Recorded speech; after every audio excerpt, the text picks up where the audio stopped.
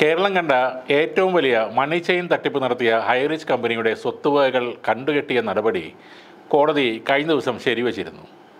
ഈ വിഷയത്തിൽ കൂടുതൽ പരാതികൾ വരാതിരിക്കാനായി മുതലാളിമാരായ ശ്രീനയും പ്രതാപനും അവരുടെ കുറേ ലീഡർമാരും ഏറെ ശ്രമിച്ചിരുന്നു.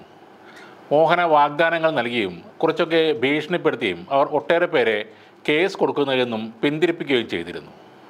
എന്നാൽ സെഷൻസ് കോടതിയുടെ വിധി വന്നതോടെ കേസുകളുടെ എണ്ണവും കൂടി വന്നു.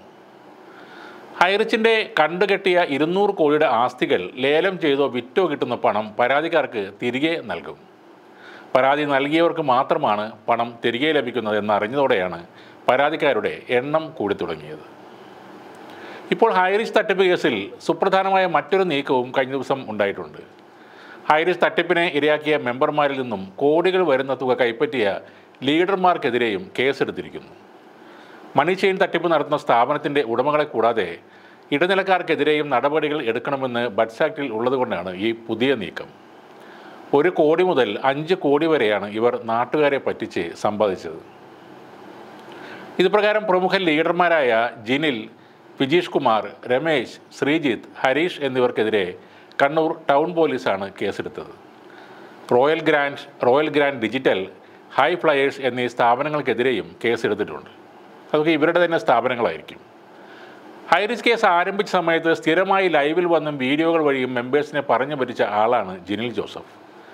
എന്നാൽ ഹൈറിച്ച് ഇനി തുറക്കില്ലെന്ന് ഉറപ്പായതോടെ അദ്ദേഹം പതിയെ ഒഴിവായി. പിന്നീട് ഓൺലൈനിലോ സൂം മീറ്റിലോ ഒന്നും അദ്ദേഹത്തെ കണ്ടിട്ടില്ല. വേറെ കുറച്ച് ബുദ്ധിയുള്ള ലീഡർമാരും അതോടെ കളം മാറ്റി ചവിട്ടുകയും ചെയ്തു.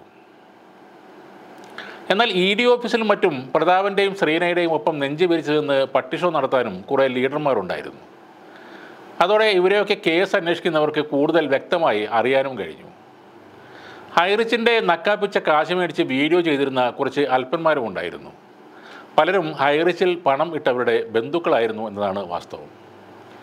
ഇപ്പോൾ അതിനെല്ലാം തന്നെ കുറച്ച് ശമനം വന്നിട്ടുണ്ട്.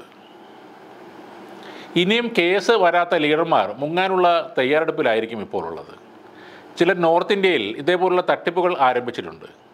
ഹിന്ദിയിൽ വീഡിയോ ഒക്കെ ചെയ്ത് ആ ഭാഗത്തുള്ള മണ്ടന്മാരെ പറ്റിക്കാനുള്ള ശ്രമങ്ങളും അവർ ആരംഭിച്ചിട്ടുണ്ട്. അപ്പോഴും മലയാളികളെ പറഞ്ഞു പറ്റിക്കാൻ ശ്രമിക്കുന്നത് അയ്യൂബ് ഖാൻ എന്ന ലീഡർ മാത്രമാണ്.